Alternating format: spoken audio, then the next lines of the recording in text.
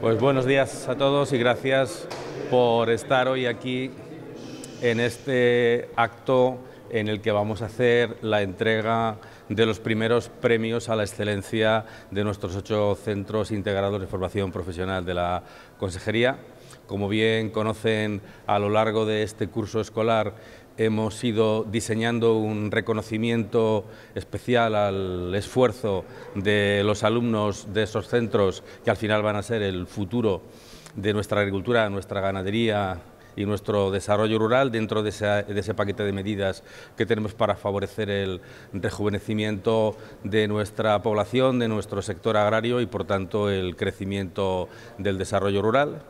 No solamente es esta medida, desde la Consejería de Agricultura, Ganadería y Desarrollo Rural a lo largo del año para todo lo que es rejuvenecimiento e incorporación de jóvenes hemos aportado ya al sector cerca de 19 millones de euros a la modernización de explotaciones de nuestros jóvenes. También hemos resuelto 5,7 millones de euros en sucesión a explotaciones y tenemos un paquete importante de medidas de apoyo a la formación agraria. Yo creo que no me cansaré de decir al final que si no tenemos gente en los pueblos que quiera seguir haciendo actividad agrícola y ganadera, que quiera seguir produciendo alimentos, la verdad que las ciudades lo van a pasar muy mal porque lógicamente el futuro de las ciudades va a depender de esa producción de alimentos.